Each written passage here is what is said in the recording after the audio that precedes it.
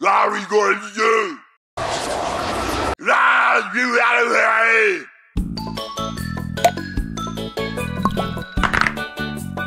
Aha!